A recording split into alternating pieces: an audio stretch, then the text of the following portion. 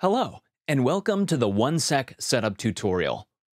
OneSec will help you to break free from social media distractions by forcing you to take a deep breath whenever you open target apps. To set it up, open the Shortcuts app. It's pre-installed by Apple on your device. If you can't find it, you can download it from the App Store for free.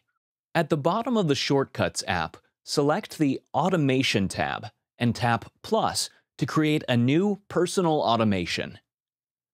Scroll down and select App. Choose the app you'd like to configure with OneSec, for example, Instagram. You can only select one app here. A separate automation is required for each app. The selection needs to be confirmed with Done. At the bottom, tap on Run Immediately, then tap Next. Select New Blank Automation tap Add Action. Search for OneSec and select A.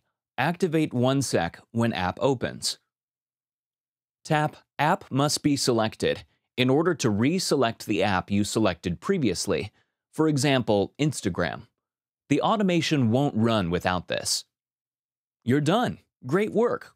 Tap on Done to save the automation. Now try to open that target app.